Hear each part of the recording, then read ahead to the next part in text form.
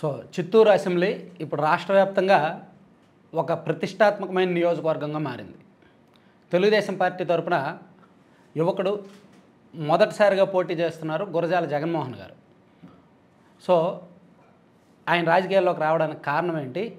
అసలు ఈ చిత్తూరు అసెంబ్లీకి ఆయన నెక్స్ట్ ఫైవ్ ఇయర్స్ ప్రణాళికలు ఏంటి? ఏం చేయాలనుకుంటున్నారు? ఆయన ఏం గుర్తించారు? ప్లస్ తన ప్రత్యర్థిని ఏ విధంగా రాజకీయంగా ఎదుర్కోబోతున్నారు అవన్నీ కూడా తెలుసుకుందాం. సార్ నమస్తే. సో అసలు మీరు ఫస్ట్ రాజకీయాల్లోకి రావడానికి ఇలా యాక్టివ్ అవ్వడానికి రీజన్ ఏంటి? ప్రజలకు సేవ చేయాలని చంద్రబాబు నాయుడు గారి పైన ఉన్న ప్రేమ. అంటే సేవ మీరు ఆల్రెడీ చేస్తూనే ఉన్నారుగా? అంటే అది కొందరికే కదా. మనం సెల్ఫ్ ట్రస్ట్ ద్వారానో లేదా వ్యక్తిగతంగా చేయగలిగితే ఒక వంద మందో వెయ్యి మందో లేదా ఒక ఐదు వేల మందికి చేయగలుగుతాము. రాజకీయ అవకాశం ఉంటే మనకి మించుమించు రెండున్నర లక్ష మంది సరే ఓటర్లు కాని వాళ్ళకి కూడా ఒక యాభై వేల మంది డైరెక్ట్లీ ఇండైరెక్ట్గా ఒక మూడు లక్షల మందికి సహాయపడవచ్చు ఇంకొంచెం మంచి నాయకుడిగా అయితే ఒక పది నుండి పదహైదు లక్షల మందికి కూడా మనము మనం ప్రభుత్వం నుండి రావాల్సినవి కొట్లాడి ప్రజలకు చేయగలిగితే ఒక మంచి నాయకుడిగా సరే. ఎదుగుతాం కాబట్టి రాజకీయాల్లోకి వచ్చాము ఓకే. నాకు సింపుల్గా స్ట్రైట్గా నెక్స్ట్ ఫైవ్ ఇయర్స్ మీరు ఏం చేయాలనుకుంటున్నారు? ఎమ్మెల్యేగా గెలిచాక. చిత్తూరు నియోజకవర్గ ప్రజలు ఎప్పుడైతే ఓటేసి నన్ను గెలిపిస్తారో అప్పుడు నేను ఈ నియోజకవర్గాన్ని ఒక స్మార్ట్ టౌన్గా తీర్చిదిద్దాలనేది నా ఆలోచన. ఎందుకంటే నేను పుట్టి పెరిగి చదువుకునేదంతా ఇక్కడే గిరింపేట మన Kings English medium school Ramnagar కాలనీలోనే ఎక్కువ శాతం నా జీవితం గడిపిన ఉన్నప్పుడు. సో నేను చూసిన నా రామ్నగర్ కాలనీ కావచ్చు దుర్గానగర్ కాలనీ కావచ్చు యాజ్ ఇట్ ఈజ్గా ఉంది. ఓ ఇండ్లు కట్టుంటారు ఒక యాభై ఇండ్లు మారుంటాయి. పాత గుడ్సెల్ లాంటివి బిల్డింగ్లు వచ్చినాయి. తప్పితే ఇన్ఫ్రాస్ట్రక్చర్గా రోడ్స్ కానీ డ్రైన్స్ కానీ ఎక్కడికక్కడ నేను చూసింది ఎలా ఉందో అలాగే ఉంది రోడ్లు ట్రైన్లు డెవలప్మెంట్ ఇవన్నీ అందరూ చెప్పేదే. ఇప్పుడు Chittoor urban area city so ఇక్కడ youth voting thirty five percent youth voting youth మీరు ఏం మెయిన్ ఎంప్లాయ్మెంట్ లేక అందరూ ఏమైనారంటే ఇటు చెన్నై లేదా బెంగళూరు లేదా హైదరాబాద్ మూవ్ అయిపోతుంది సో వాళ్ళు ఇక్కడే ఉండడానికి మీరు ఏం చేస్తారు? ఇక్కడ ఏమైనా అందుకే ఇప్పుడు బెంగళూరుకి వెళ్ళి సాఫ్ట్వేర్ జాబ్ చేసే వాళ్ళు మొన్న కరోనాలో వర్క్ ఫ్రమ్ హోమ్ అన్నప్పుడు కూడా there was a good result work from home. ఆ వర్క్ ఫ్రమ్ హోమ్ కంటే కూడా ఇక్కడ ఒక చిన్న చిన్న కమర్షియల్ అవైలబిలిటీస్ ఉంటే ప్రాజెక్ట్స్ వచ్చినప్పుడు ఆ ప్రాజెక్ట్స్ తీసుకొని ఇక్కడ ఉన్న యువతకి కూడా ఉద్యోగాలు కల్పించే రకమైన ఒక డెవలప్మెంట్కి మనం చాలా వరకు బెంగళూరులో మనం ఉన్నాం కాబట్టి అక్కడ ఉన్న కంపెనీస్ అనేక రకాల నేను సాఫ్ట్వేరే కాదు. ఇండస్ట్రియల్ వైపు కూడా ఏమైనా మాట్లాడారా? ఏమైనా మాట్లాడారా? ఖచ్చితంగా మాట్లాడాను. ఆహా, ఇప్పుడు ఏమైనా ఒక కంపెనీ ఏమైనా పేరు చెప్పగలరా? పలాంది వస్తుంది. నేను ఎమ్మెల్యేగా ప్రమాణ స్వీకారం చేసిన వంద రోజుల్లో లేదా మూడు నెలల్లో పలాంది తీసుకొస్తాను ఏమైనా చెప్పగలరా? డెఫినెట్గా ప్రాజెక్ట్ ఆఫ్ సాఫ్ట్వేర్ ఏదైతే ఉంది నా స్నేహితులు ఎవరైతే ఇక్కడ నుండి యూఎస్ వెళ్ళి వర్క్ చేస్తున్నారో వాళ్ళందరూ కూడా నువ్వు చిత్తూరుకి ఎమ్మెల్యే అయితే డెఫినెట్గా మేము వచ్చి ఒక ప్రాజెక్ట్ వర్క్ ఇచ్చి అక్కడ ఉన్న యూత్ని ఆదుకుంటామంటున్నాం అంటే ప్రాజెక్ట్ అంటే కంపెనీ కాదు అది ఆ కంపెనీస్ ప్రాజెక్టులు ఇచ్చేస్తాయి. వాళ్ళకి ఇక్కడ వర్క్ ఫ్రమ్ హోమ్ చేసుకొని ఒక ప్రాజెక్ట్ ఇక్కడ ఇస్తారు. అప్పుడు ఏమైతుందంటే ఇక్కడే ఎవరైతే చదువుకున్న విద్యార్థులకు ఉద్యోగాలు దొరుకుతాయో వారి శాలరీస్ కావచ్చు వాళ్ళ ఇన్కమ్ కావచ్చు ఇక్కడే స్పెండ్ చేస్తారు. ఇప్పుడు ఏమైపోతుంది? తీసుకుపోయి ఇక్కడ సంపాదించిన డబ్బును కూడా అక్కడ ఫ్లాట్ రూపంలో కావచ్చు అపార్ట్మెంట్స్ కావచ్చు ల్యాండ్గా కావచ్చు ఎక్స్పెండిచర్ కావచ్చు వెళ్ళిపోతూ ఉంది. సో ఇక్కడ సంపాదన ఇక్కడ యూటిలైజ్ అయినప్పుడే ఆ ప్రాంతం బాగుపడుతుంది. సో నేను కూడా ఇండస్ట్రియలిస్ట్గా కోల్డ్ స్టోరేజ్లు కొన్ని గార్మెంట్ ఇండస్ట్రీస్ని ఓన్గా పెట్టాలని డిసైడ్ అయింది.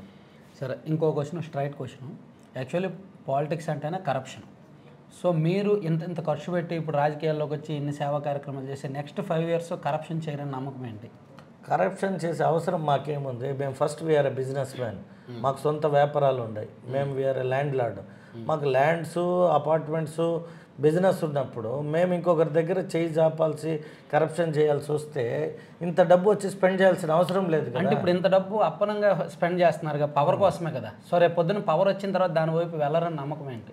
అది మీ- మీరు మీరు మీ క్వశ్చనే రాంగ్ ఇప్పుడు డబ్బులు పెట్టేది పవర్ కోసమే అంటే డబ్బు పెడితే మాకు ఎమ్మెల్సీ ఇస్తారు అది పవరే కదా. నో ఎమ్మెల్యే పవర్ వేరు ఎమ్మెల్సీ పవర్ వేరు. అంటే మాలాంటి వాళ్ళకి నేను అనేది మాలాంటి వ్యక్తి అంటే మీరు అనేది ఒక రాజకీయ నాయకుడు ఏ విధంగా కరప్షన్ చేస్తాడు మీరు చెప్పండి ఒక టూ పాయింట్స్ చాలా రకాలు ఉంటాయి. ఇప్పుడు పొద్దున్న మీ- మీకు ప్రాజెక్ట్ వస్తుంది. మీ సిటీ డెవలప్మెంట్ ఒక యాభై కోట్లు వంద కోట్లు వస్తుంది. దానిలో కమిషన్ మొదలు ఎంత వస్తుంది? అంతెందుకు మీ అది ఎంత వస్తుంది? మీ మీ అంచనా ప్రకారము ఒక వంద కోట్ల వరకుకి ఎంత ఇవ్వచ్చు కమిషన్ ఇప్పుడు రాష్ట్రంలో స్టేట్ యావరేజ్ అయితే టెన్ టు ఫిఫ్టీన్ పర్సెంట్ సరే టెన్ పర్సెంట్ అనుకుంటాం.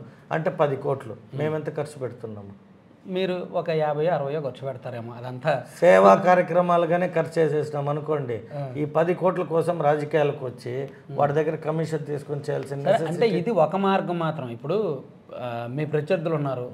వాళ్ళ మీద చాలా ఆరోపణలు ఉన్నాయి. ఎర్రచందనం స్మగ్లింగ్ చేశారు అనేది మీరు కూడా అటువైపు వెళ్ళరని నమ్మకం ఏంటి? మేము ఎర్రచందనం చేయాలంటే రాజకీయాలకు రాకుండానే చేయొచ్చు. ఇప్పుడు ఆయన కూడా రాజకీయాలు లేనప్పుడే కదా ఎర్రచందనం చేశాడు. రాజకీయాలకు వచ్చాక ఆ సంపాదనని బ్యాలెన్స్ చేసుకునేకి వస్తున్నాడు మరి మేము అవి ఏమైనా చేయాలంటే అటు పోవచ్చు కదా?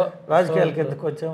నా ఛానల్ సాక్షిగా మన ఛానల్ సాక్షిగా మీరు ఒక మాట చెప్పాలి. చెప్పండి. నెక్స్ట్ ఫైవ్ ఇయర్స్ ఏ అవినీతి ఆరోపణ వచ్చినా ప్లస్ డెవలప్మెంట్ విషయంలో ఇచ్చిన హామీ విషయంలో వెనకడుగు వేసిన ఇమీడియట్గా అడుగుతాం.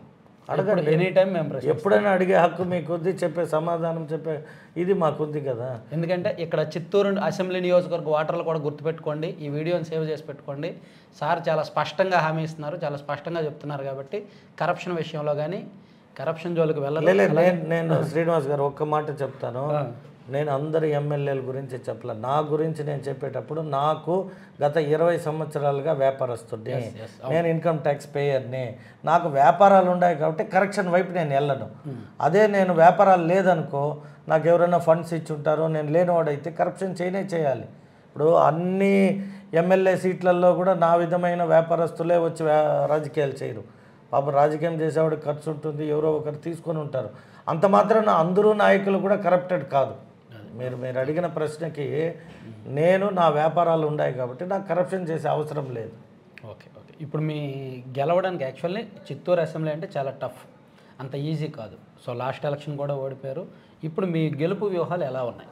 ఎలా లాస్ట్ ఎలక్షన్ మేము ఓడిపోవడానికి గల కారణం ఏమంటే జంగాలపల్లి శ్రీనివాస్ అనే వ్యక్తి ఈ నియోజకవర్గంలో గత ఇరవై సంవత్సరాలుగా అనేక పార్టీల ద్వారా రాజకీయాల్లో కష్టపడి ఓడిపోయారు.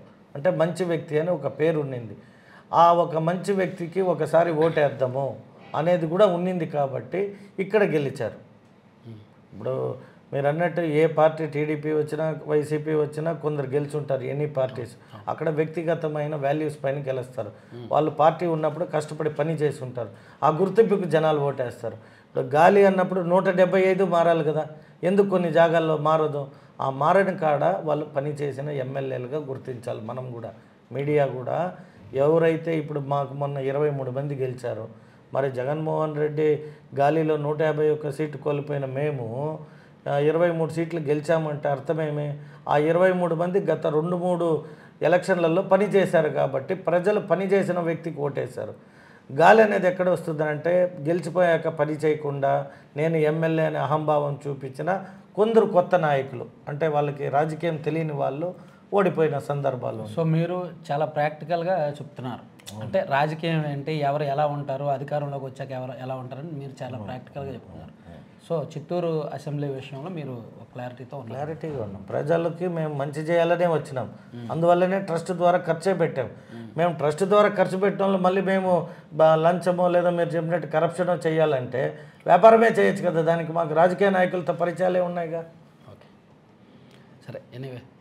థ్యాంక్ యూ అండి. Thank you very much. అంతేనా?